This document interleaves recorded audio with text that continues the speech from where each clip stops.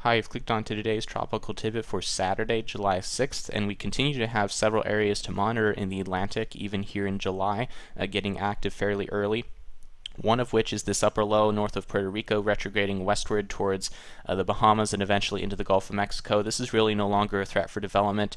Um, really, as we've been talking about, the low level flow underneath of it is too fast for this to really develop a surface circulation, and this will remain a mid to upper level feature um, that, as we've expected for the last day or so, now that we've seen the trade wind flow, will not really be a threat um, and will just increase rain chances for Florida, Cuba, and the Bahamas as it moves into the Gulf of Mexico over the next several several days.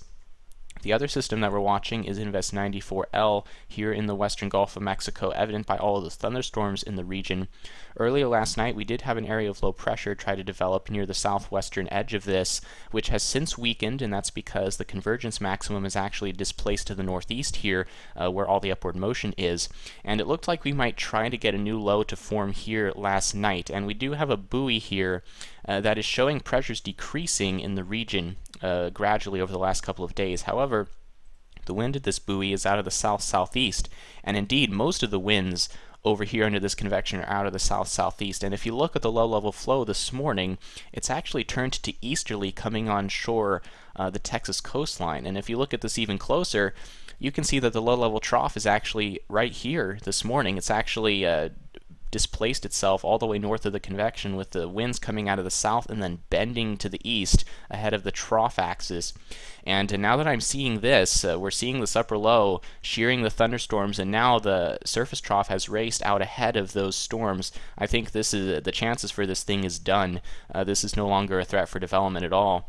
Um, before it comes ashore, this is all going to be coming northwest, bringing strong storms into Texas, Louisiana, and northern Mexico. But now that the surface trough has raced out ahead of all of this convective mass, um, this is no longer, I think, a threat for tropical development, but will bring nasty weather to this region as it moves northwest over the next day or two. Now the third region that we have to look at here is a nice little tropical wave that has come out southwest of the Cape Verde Islands and you can see a nice little spin with it here in the mid-levels and the NHC has now highlighted this uh, as orange for medium chance of development over the next 48 hours and uh, this is really not a surprise if you think about it. We've been talking about this large-scale pattern developing for mid-July where these waves are going to have a better environment to start firing off here east of the Caribbean as opposed to inside or north of it. We've had a large sprawling Azores Bermuda high extending east to west, strong trade wind flow coming off Africa to the north, and this thing is so far south here at about 8 to 9 latitude um, that it's uh, benefiting from the cyclonic vorticity generated by being south of the trade wind belt to its north, and that's why you can see it spinning a little bit here. Now the question is, uh, will this guy develop? And uh, I think it'll struggle a little bit before it comes to the Caribbean here. It's going to be moving west-northwest towards the Lesser Antilles here and onward into the northeastern Caribbean. Um, there are a couple reasons why it should struggle. One is you can see this cloud mass of stratocumulus to its northwest indicating a stable dry layer above the trade wind inversion that may get entrained into the circulation as it tries to come west and I think this may limit some of its thunderstorm growth. Um, however, I think there's an even more fundamental problem with the, this system's development chances and that's that it's embedded um, or will be embedded in a fast trade wind flow. It's actually already moving west at 20 to 25 miles per hour, and this is way too fast uh, for this to try to develop right now. Usually the waves need to slow down to a slower speed before they can acquire a closed circulation with westerly winds on the south side.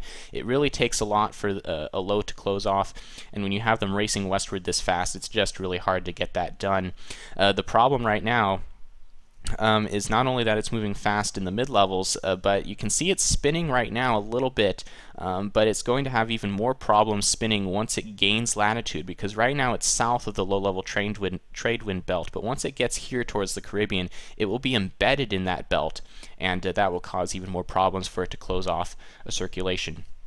However, uh, once it travels through the Caribbean here and gets farther west, perhaps west of Jamaica at about 75 west, it's going to end up in this area near or southwest of the Bahamas, I believe, in about a week's time. And once it gets in this area, it'll start slowing down in forward speed and get on the southwestern flank of this Bermuda High, and that's when we might have to watch it later down the road. So if you live here in the eastern Caribbean islands, I really wouldn't worry about this system too much. Obviously, you'll be keeping an eye on it because this is the first really vigorous tropical wave coming coming your way of the year, um, but I think it will struggle as it comes your direction. Probably not going to be anything really strong uh, once it gets to 60 west.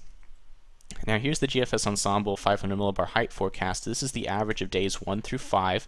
So during the next 5 days you can see the average position of the mid-level ridge off of the Carolinas. And again, when you have this here, you're going to be increasing pressures to, on the southeastern flank. So we're going to have a strengthening ridge here at the surface with high pressure building. This is going to strengthen the trade wind flow. As our tropical waves comes northwest into this flow, um, it's going to have trouble closing off the circulation due to how fast that flow is. However, if we go to 6 to 10 days out, notice uh, the break in the ridge that develops over Florida. By this time, our wave will be in this area of the world, and this is when we might have to start watching it because this trough can start bringing it north into the islands or Florida or wherever in that region, and uh, that's when we may uh, have a more interesting setup for its development chances. And you can see the Canadian actually does develop it uh, by day 7 over Florida, and the GFS has an interesting system in the Gulf of Mexico at day 9, which spawns from this wave. So uh, you can see the models are seeing the possibility that this could be trouble down the road, and I think this is the first in a line of tropical waves that will be potential troublemakers coming out of the central Atlantic here in the middle part of July, as long as the MJO stays in our region of the world and this pattern remains the way uh, that it is setting up right now to be favorable for these waves. Now, here's the setup that we have right now in the upper levels. These are the upper level winds um, shown by the GFS ensemble. I'm going to go through this loop and show you what's going on. This is uh, the initial time. You can see our upper level low spinning north of Puerto Rico here, which you could see on the satellite right here.